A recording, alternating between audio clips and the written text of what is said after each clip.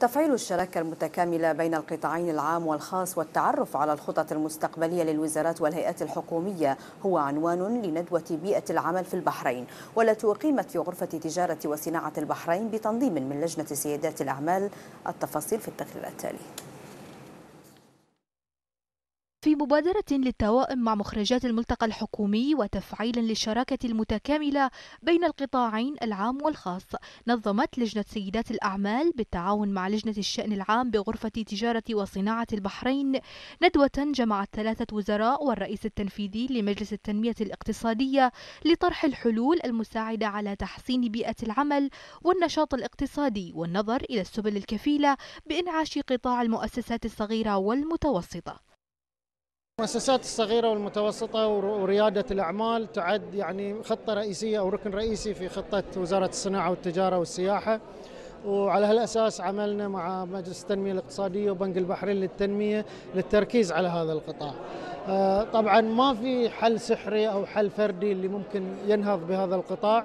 آه، إحنا الهدف إن إحنا نخلق آه، بيئة استثمارية تشجع رواد الأعمال تشجع الناس أنهم يغامرون. وياخذون المخاطرة إنه يبتدي عمل وتغير تفكيرهم من صاحب من باحث عمل إلى صاحب عمل ومهيئ لفرص عمل. تحديات كثيرة طرحتها ندوة بيئة العمل في البحرين. أجمع غالبية المشاركين فيها على ضرورة تحويل الباحث عن عمل إلى رب عمل قادر على خلق الوظائف للكفاءات الوطنية والمساهمة بدفع عجلة الاقتصاد إلى آفاق أرحب من النمو. مدعوما بتشريعات وقوانين تجعل السوق المحلي أكثر انفتاحا على المتغيرات الاقتصادية إقليميا وعالميا.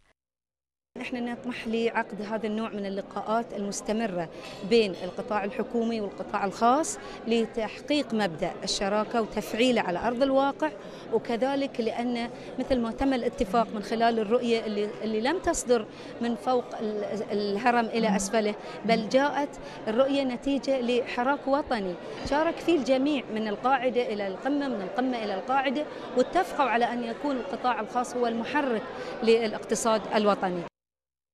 الأوضاع الاقتصادية الحالية الضاغطة والانخفاض الحاد في أسعار النفط ولجوء الكثير من الدول لاتباع سياسات التقشف إلا أن الأرقام الاقتصادية المعلنة والمتمثلة بازدياد معدلات السجلات التجارية ونمو التوظيف في القطاع الخاص تعكس تفاؤلا باستمرار الاقتصاد الوطني في تسجيل معدلات نمو تفوق نظيراتها على مستوى المنطقة.